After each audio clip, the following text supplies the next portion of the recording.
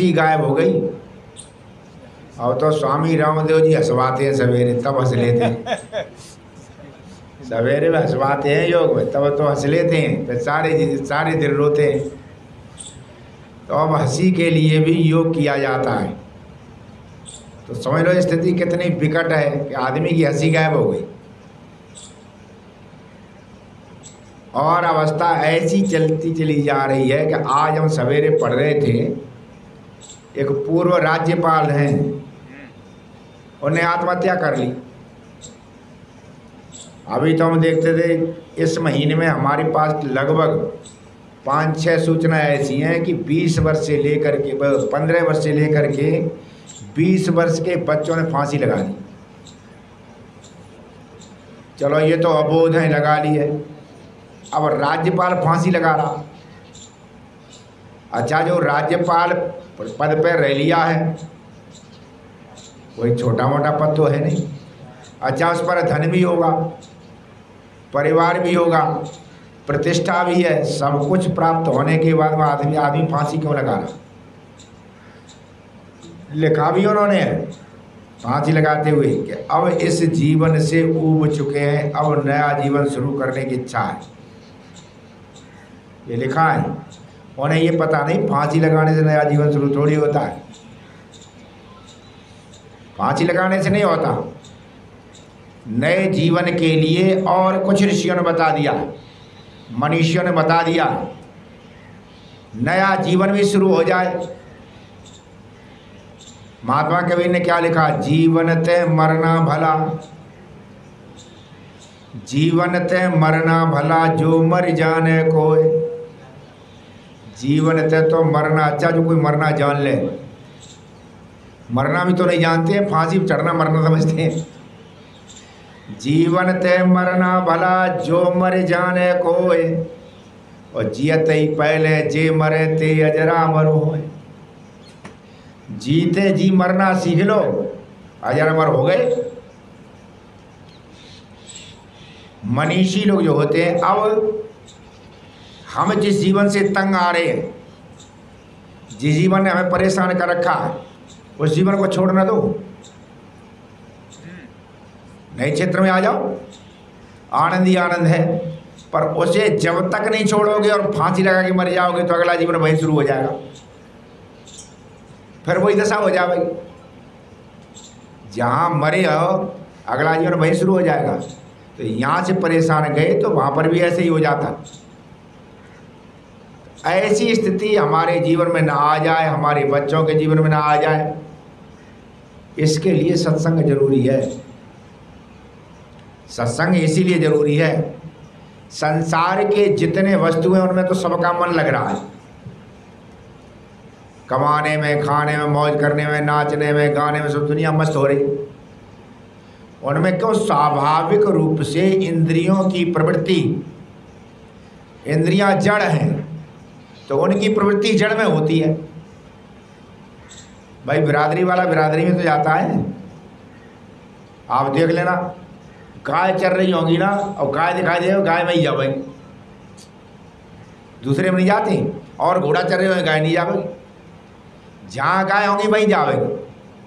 तो ये स्वाभाविक प्रवृत्ति है कि जो जी, जो जिस जाति का उसी में जाता है। इंद्रियाँ जड़ हैं तो कहाँ जाएँगी? संसार के जड़ में ही जाएँगी तो मन बड़ा लगता है उसमें। मन भी जड़ है। लेकिन जहाँ वो जा रहा है, जहाँ पर इंद्रियाँ जा रही हैं, वहाँ आनंद है नहीं। जड़ में कहाँ आनंद है? और ढूंढता आनंद है। ढूंढता क्या है? आनंद ढूंढता, किस जगह ढूंढता? वहाँ ढूंढता जहाँ है नहीं। और इसीलिए वो परेशान होकर फांसी लगा लेता कि वो जहाँ ढूंढता वहाँ है नहीं। और सारी ज़िंदगी ढूंढते ढूंढते उसे हो गई और मिला नहीं, तंग आकर फिर फांसी लगा लेता। जो आनंद चाहिए था, वो आनंद उसे कहीं मिला ही नहीं। जब मिला नहीं तो क्या करेगा? फिर फांसी लगाता कि सब देख लिया पद ले ली, प्रतिष्ठा ले ली, सब कुछ ले लिया। और जो लोग जड़ की तरफ़ नहीं जाते, उधर अपने को मार लेते हैं। और उधर ही चलते हैं, जिधर आनंद है। उनके जीवन में आनंद का ठिकाना नहीं कुछ भी नहीं, तब भी आनंद में। उनके पास कुछ नहीं है, और मौज की कमी नहीं। महात्मा कबीर से कहा, दुनिया देखो, कैसी मौज मार रही कोई दावत मारो, कोई मेला में जा हो, कोई नाच कर हो, कोई तुम यहाँ बैठे रहते अकेले, कुटिया में। कछु दुनिया की बाहर देख लो। तो कवि ने कितना सुंदर उत्तर दिया। वो कहते हमन है इश्क मस्ताना। हमन दुनिया से आ रही क्या? हमें तो वो मस्ती आ रही है। कहाँ? हम उसकी तरफ़ बढ़ गए हैं, जहाँ आनंद का स्रोत बहता है। हम उधर पहुँच गए हैं, जहाँ आनंद ही आनंद है। क्या कहते हैं हमारा है इश्क मस्ताना। हमन दुनिया से यारी क्या? हमें दुनिया से यारी ना है। ना हमें दुनिया की। जो चल रहे हैं, इनसे कोई यारी हमारी रही नहीं। हमन है इश्क मस्ताना, हमन दुनिया से यारी क्या? हमारा यार है हमें हमन को बेकरारी क्या? परेशान कौन है? यार के पास आनंद है। वो कहते हमने यारी ऐसे सीखी है। तेरी दुनिया से यारी है, दुनिया में आनंद है नहीं। और हमने जिससे यारी की, उसमें आनंद ही आनंद है। हमारा इश्क मस्ताना हमने दुनिया से यारी क्या? हमारा यार है हम में हमन को बेकरारी क्या? कबा कबीरा इश्क का हमारा। संसार इश्क किससे करता है? जड़ वस्तुओं से, फांसी लगाता। घाटा पड़ गो तो फांसी लगा ली। एक बालक ने फांसी लगा ली। पत्नी को लेने गया, उसने आने से मना कर दिया और फांसी लगा ली। कहते हैं, हमन है इश्क मस्ताना, हमन दुनिया से यारी क्या? हमारा यार है हम में, हमन को बेकरारी क्या? कबीरा, इश्क का हमारा दुई को दूर कर दिल दिल से। दुई कहते हैं, संशय को। भगवान कृष्ण गीता में क्या कहा? संशय आत्मा विनश्यति। जो तय नहीं कर पा रहा है कि बिहारी बढ़िया है, कि गोवर्धन बढ़िया है तो तय नहीं कर पा रहा है कि मथुरा जाए काशी जाए। है ना? जो इसी चक्कर में पड़ा कहाँ जाए? तो कृष्ण ने क्या कहा? ऐसे संशय आत्मा क्या नाश हो जाता। कृष्ण कहते हैं संशय आत्मा विनश्यति। उसी को गीता उसी, उसी कवि ने क्या कहा? कबीरा इश्क का मारा दुई कर दूर कर दे दिल से।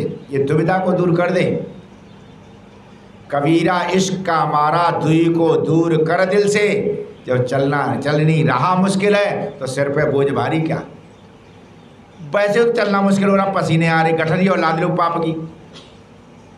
वैसे भी तो दुनिया में मुश्किल है चलना, और पाप की गठरी और सिर पर धरली पे तो मरेगा ही, और क्या होगा, फिर फांसी लगानी पड़ेगी।